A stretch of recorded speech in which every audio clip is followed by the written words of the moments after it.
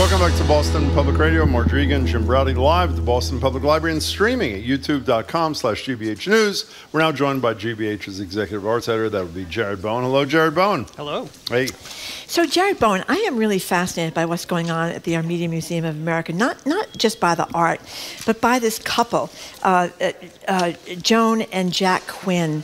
Uh, and I guess back in the 70s through 90s out in California, they were sort of, he, he's an attorney and she was the muse and the one with the eye for art. One of these stories it talks about how she had this great sensibility for picking artists and how most people don't have that kind of sensibility. So tell us about the two of them and tell us particularly about her.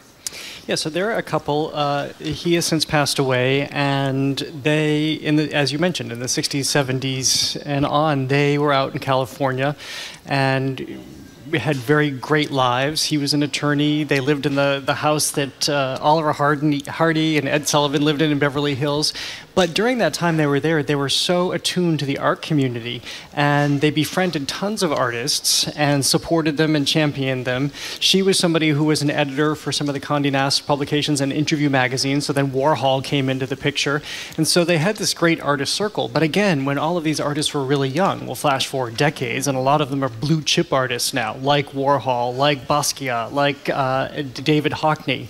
And so they amassed this tremendous collection that you can now actually see at the Armenian Muse Museum of America, uh, which is in Watertown, Massachusetts, of course.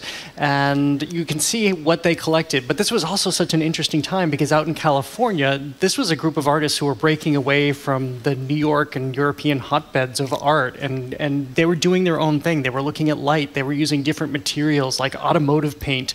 And it was just about exploration. And then you had these great supporters like the Quinns who could, uh, again, support and championing champion them by their work and introduce them to others and and do what they did.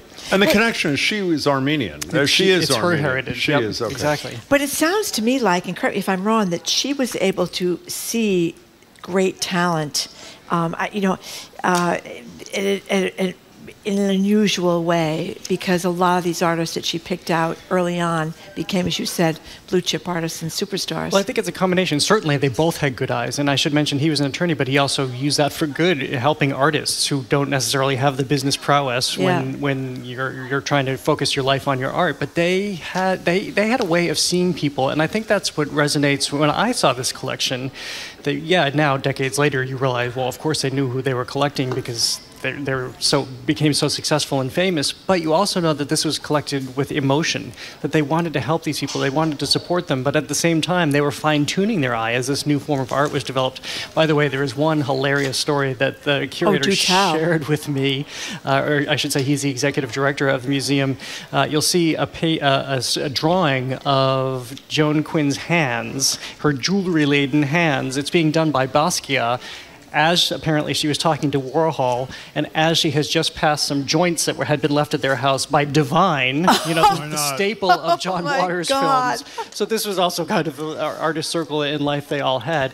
The other really fun part of this is that it became a thing after a while to paint Joan's portrait, and so you have a small side exhibition within this larger exhibition of all of these artists just painting her in all manner, you know, from minimalist to abstract to anime, and you just because people were so focused, she's a very beautiful woman, and uh, and then to have all of these different artistic uh, interpretations of her just adds to I think this allure of this this love of the arts. Where's the Armenian Museum in Watertown? It's right uh, right off of Watertown Square. oh, it is.